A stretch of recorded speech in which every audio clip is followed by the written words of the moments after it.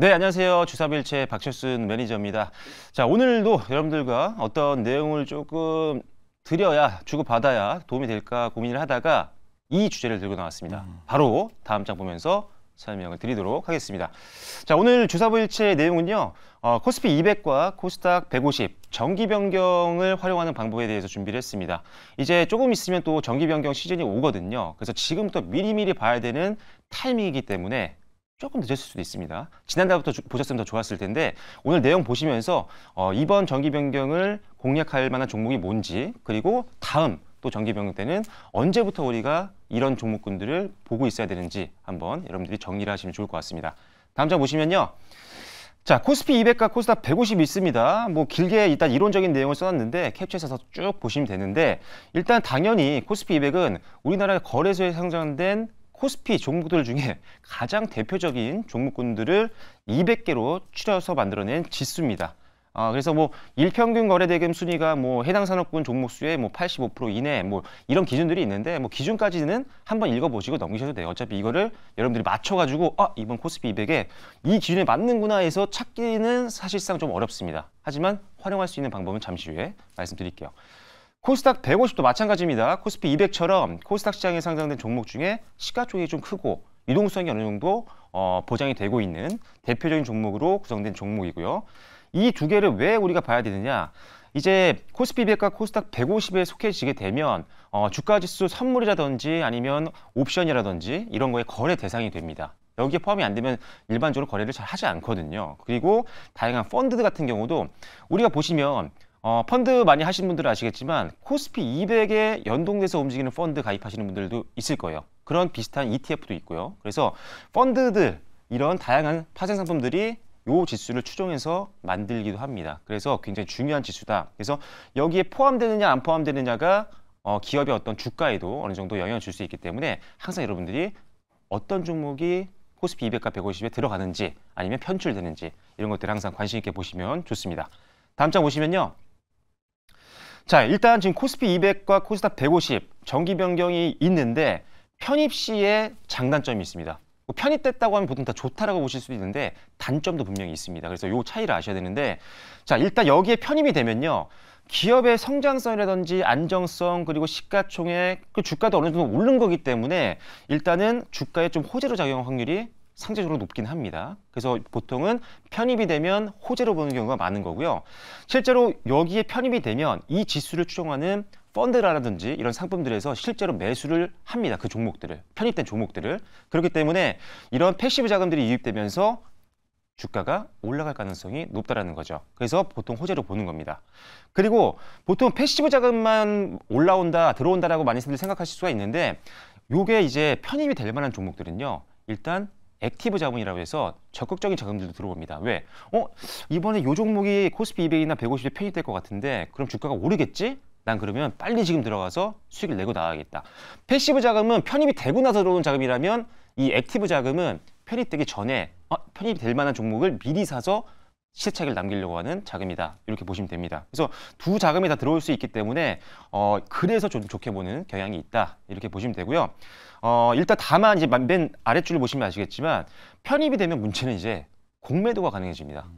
그래서 이것도 이제 문제가 되는 거죠. 그래서 만약에 편입된 이후에 어, 주가가 좀 올랐어요. 편입되기 직전까지. 그랬다가 편입이 확정되고 나서 공매도 자금이 갑자기 늘어나거나 그러면서 주가가 조정받으면 그때는 여러분들도 잠시 현금을 하거나 어, 조정을 좀 피하시는 전략도 사용을 하셔야 됩니다. 그래서 무조건 편입됐다고 해서 끝까지 들고 가는 게 아니라 편입되는 시점에 차익 매물 나오거나 공매도 세력이 붙기 시작하거나 아니면 대차 잔고가 늘기 시작하면은 공매도가 많이 나오면서 눌릴 수가 있으니까요. 그때는 일단 비중을 줄이거나 또는 현금화 시키시고 다음 재매수 타이밍을 잡는 게 좋다는 점 기억을 하셔야 됩니다. 그래서 편입된다고 해서 무조건 장점이 아니라 단점도 있다라는 점 기억을 하셔야 되고요.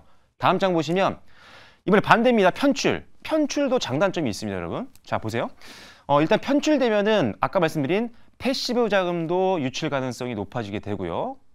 그러니까 기관에서 던진다고 하니까 당연히 주가가 빠질 확률이 높아질 수밖에 없겠죠. 확률적으로는. 그래서 기계적 자금 출회로 인해서 빠질 확률이 높아지는 거고 그리고 active 자금도 빠져나갑니다. 뭐 단기로 들어갔던 자금도 어, 요 종목 이번에 편출될 것 같은데 에이 빠지자. 그래서 단기로 들어갔던 active 자금들도 빠질 수가 있어요. 그래서 일단은 수급적으로 좀 부, 어, 부정적일 수 있다라는 점이 주가 하락 또는 거래량 감소로 이어질 수가 있다라는 점을 기억하시면 되고요. 단 반대입니다. 편출이 되게 되면은 잘못되어 있습니다. 오타인데 편출이 되면 공매도 리스크는 소멸이 됩니다. 음. 그래서 오히려 직전에 공매도를 이제 못하게 되니까 공매도 세력들이 쇼커버로 해서 매수를 하는 경우도 있어요. 그래서 어, 급하게 좀 오르는 경우도 간혹 생기거든요. 근데 요거는 사실 여러분들이 타이밍 잡기가 좀 어려울 수 있습니다. 그래서 저는 약간 요렇게 해서 사실 타이밍 잡고 들어가는 방법도 있지만 실제로 개인 투자자분들이 어, 익숙하지 않을 때는 건드리시면 오히려 어, 단기간에 손실이 날 수 있기 때문에 어, 이런 흐름들은 나오긴 하지만 실제로 이용하기는 쉽지 않다. 그래서 공부를 좀 더 많이 하시고 익숙해지셨을 때 한번 모, 모의 투자 한번 해보시고 나서 한번 해보시는 게 좋을 것 같습니다. 자, 다음 장 보실게요. 자, 과거 이제 편입과 편출 종목들의 패턴을 분석을 해봤더니 아 이렇게 이렇게 우리가 한번 활용하면은 이걸로도 이 일정만으로도 우리가 한번 수익을 노려볼 수 있겠구나라는 것들이 이제 어, 나와 있습니다. 자, 편입 종목, 편입 예상 종목들이 미리미리 나오거든요. 지금 시가총액이나 주가 흐름을 봤을 때 이 회사는 아 이번 정기 변경 때는 편입될 것 같아라는 종목들이 시장에서 나오기 시작 돌기 시작하거든요. 그래서 보통 3개월 전부터 그런 종목들이 긍정적인 흐름이 나오는 경우가 굉장히 많습니다. 그래서 미리 잡는 게 좋은데 지금 6월 정기 변경을 앞두고 있는 상황이거든요. 지금 시점은 그러면 사실 지난달부터 계속 보고 있었던 게 더 유리했습니다. 하지만 뭐 지금도 늦지 않았으니까요. 자, 정기 변경일 전에는 외국인이라든지 active 자금들이 들어올 확률이 높습니다. 그러니까 정기 변경 전 3개월 전부터 꾸준하게 변경일까지 쭉 들어오는 경우가 많고요. 그리고 나서 변경일 직전으로 해서 전후로 해서는 또 차익 매물 그동안 올랐을 테니 차익 매물 나와서 빠질 확률이 있습니다. 그래서 정기 변경 이후에는 변동성을 조심하시는 게 좋고요. 자, 그리고 편출 종목도 있습니다. 편출 종목은 보통 2개월 전부터 이게 통계적으로는 2개월 전부터 주가가 좀 밀리는 경우가 많이 있습니다. 그래서 어 지금 시장에서 어 편출될 만한 종목들이 이거 이거라고 하는데 그렇다면 나는 이 종목을 좀 보지 않아야겠다라거나 내가 가지고 있다 있었다면 아쉽게도 그러면 2개월 전부터는 어, 주가 흐름이 좀 안 좋을 수 있으니 비중을 좀 줄여놓으시거나 또는 어, 현금화를 통해서 교체 매매를 준비하시는 것도 방법이 될 수 있습니다. 물론 편출이 된다고 해서 무조건 안 좋은 건 아니에요. 왜냐면 어, 잠시 뭐 업황이 좀 안 좋아서 무너졌지만 바로 다음 분기에 회복하는 경우에는 오히려 빠졌을 때가 저가 매수 기회가 될 수 있습니다. 그렇기 때문에 일단 이게 일반적인 흐름상으로는 통계적으로는 이런 흐름이 나왔기 때문에 특별한 상승 모멘텀이 없는데 편출까지 예상이 된다. 그러면 일단 비중을 줄이는 게 우리는 리스크 관리 차원에서 맞다라는 투자죠. 그래서 그렇게 보시면 되겠습니다. 다음 장 보시면요. 자, 그래서 이렇게 지금 이건 코스피 어, 편입됐던 종목들, 편입 종목군의 주가 추이인데, 음. 자, 지금 이게 디데이예요. 정기 변경일입니다. 예를 들어 6월 어, 선물옵션 만기일이라고 보면은 요때를 중심으로 해서 어, 12 주니까요. 12주 전부터 약 3개월 전부터 주가가 좀 우상향하는 흐름들이 나오는 걸 확인할 수 있습니다. 그런데 정기 변경일을 기점으로 해서 앞뒤로 변동성이 커졌죠. 그래서 정기 변경일 직전에 고점 만들고 조정받는 경우가 많이 생긴다라는 음. 점을 기억을 하시면 됩니다. 그래서 미리 잡아야 더 많은 수익을 남길 수 있는 가능성이 높아진다. 이렇게 보시면 되겠습니다. 네, 다음 장 보시면요. 자, 지수 구성 변경 시기는 1년에 두 번입니다. 그러니까 요거만 여러분들이 어, 자세하게 공부를 해 놓으시면 1년에 두 번 활용할 수 있다는 거죠. 음. 그래서 매년 6월과 12월 선물 옵션 동시 만기일 날 정기 변경이 일어납니다. 그때 기준에 맞는 종목들이 편출이 되고 기준에 아 기준에 맞는 종목이 편입이 되고 맞지 않는 종목이 편출이 된다. 이렇게 보시면 되겠고요. 지수 선정 기준은 뭐 시가총액 기준 뭐 많습니다. 자, 이런 내용은 뭐 그냥 글만 보셔도 여러분들이 이해할 수 있는 내용이니까요. 참고를 하시면 될 것 같고요. 다음 장 보시면요. 네. 변경 기준 복잡합니다. 1차, 2차, 3차. 아... 저도 못 외웁니다. 봐야 됩니다, 여러분. 못 외워요. 이거는 왜 외울 필요가 없습니다. 보면서 체크하면 되니까요. 그런데 사실 이게 요 내용만으로는 구별하기 어려워요. 이게 굉장히 애매모호한 단어들이 많거든요. 그래서 여러분들은 이걸 보실 필요가 없습니다. 우린 뭘 보느냐? 정보화 시대에 살고 있잖아요.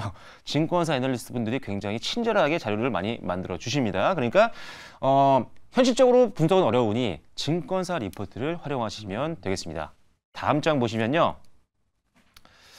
자, 그래서 요겁니다. 지금 이런 식으로 지금 나오는 거예요. 이게 지금 제가 기억하기로는 어, 표시를 안 했는데 미래에셋 증권사 리포트로 제가 기억을 합니다. 아닐 수도 있는데 증권사가 다 나오니까요. 어느 증권사는 거의 비슷합니다. 왜? 기준이 동일한데 편입 편출 예상 종목이 다르긴 어렵거든요. 거의 비슷해요. 편입될 종목들 예상 종목들은 그래서 지금은 이겁니다. 이게 언제 거냐? 지금이에요, 지금. 어. 6월 달에 정기 변경이 있는데 6월 달에 요 다섯 종목, 아, 네 종목이죠. 편입 갈 편입 가능성이 있다라고 지금 평가를 하고 있는 겁니다. 그래서 L&F, 두산 로보틱스, 이수 스페셜티 케미칼, 세아 제강지주 보시면 최근에 주가가 좀 올랐던 거라는 것들 아마 이슈됐던 종목이라는 걸 아마 기억을 하실 것 같습니다. 그래서 주가가 좀 좋았던 종목들이니까 요 종목들 어 6월 달 정기 변경까지 주가 흐름 좀 기대를 해보시면서 눌림목 한번 공략해 보시는 전략도 세워보실 수가 있고요. 다음 장 편출입니다. 이번엔 다음 장입니다. 자, 요거 편출 예상 종목이 많아요. 요거 다 기억해 놓으셨다가 혹시라도 좀 주가 밀리기 시작하면은 여러분들 조심을 더 하실 필요가 있다는 점 참고를 하시면 되겠습니다. 그래서 편출 종목보다 우리는 지금 매수할 종목들 찾는 게 더 급하잖아요. 그래서 일단은 매수할 종목들 중에서는 편입 예상 종목들 한번 고려해 보시고 내가 갖고 있는 종목이나 살려고 하는 종목 중에 이런 종목이 있다면 조금 더 디테일하게 분석을 더 하셔서 신중하게 매수를 고려해 보시면 좋을 것 같습니다. 오늘은 여기까지입니다. 네, 자리로 모시겠습니다. 아. 아, 이거만 잘 활용해도 정말 포트가 마이너스는 안 날 것 같다는 생각이 좀 듭니다. 네, 어, 잘것 보셨죠? 같네요. 네, 네, 네. 저런 것들은 봤습니다. 무조건 캡처해놔야 돼요. 네, 네. 편취율하고 편입 종목 다 해주셨잖아요. 예. 자, 우리 박근호, 아, 박철순 매니저님. 죄송합니다. 아이. 오랜만에 그러니까요. 듣는 박철순. 매니저님의 네, 네, 네. insight가 궁금하신 분들 있을 거예요. 자, 오늘도 생방 준비하고 있다고요? 네, 오늘도 이제 방송 끝나고 나서 10시 20분부터 무료 방송 진행을 합니다. 네. 어, 유튜브에 네. 어, 박철순 검색하시면 라이브 방송이 하나 뜰 겁니다. 네네. 거기 들어오시면 10시 20분부터 음. 어, 1시간 정도 이제 진행하니까요. 오늘 네. 못다 드린 어, 이야기 어, 말씀드리면서 추천주까지 설명을 드리도록 하겠습니다. 음, 오늘 설명했던 거 조금 더 자세히 설명해 주시나요? 조금 더? 요것도 질문이 있으시면 아, 질문 해드리고요. 어, 사실 오늘 반도체라든지 못 드린 이야기가 굉장히 많습니다. 네, 네, 알겠습니다. 그 부분에 대해 말씀드리겠습니다. 자, 어떻게 1부 재밌게 보셨나요? 네. 아, 2부에도 저희가 좀 풍성하게 준비되어 있습니다. 5부에 저는 이제 우문연답 시간 준비되어 있고요. 그리고 또 별별 기업도 준비되어 있으니까 여러분들 채널 돌리지 마세요. 채널 어떻게 하라고요? 고정! 그렇습니다. 채널 고정하시면서 저희 2부에서 뵙겠습니다.